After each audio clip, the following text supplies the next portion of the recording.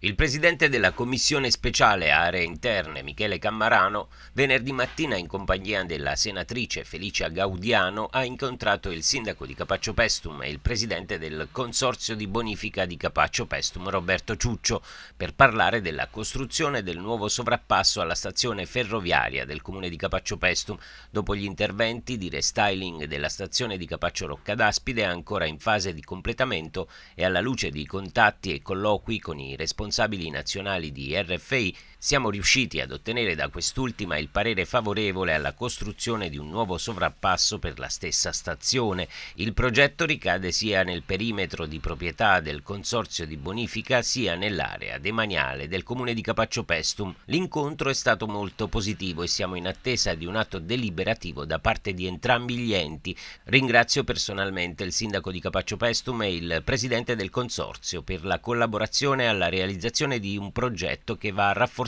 e a migliorare l'opera di sviluppo delle nostre aree interne che stiamo portando avanti da tempo. Un progetto che parte dall'apertura dell'aeroporto di Salerno Costa d'Amalfi e si rafforza con l'alta velocità. Continueremo, conclude Cammarano, a impegnarci per una svolta infrastrutturale che ridisegni l'assetto dei nostri territori.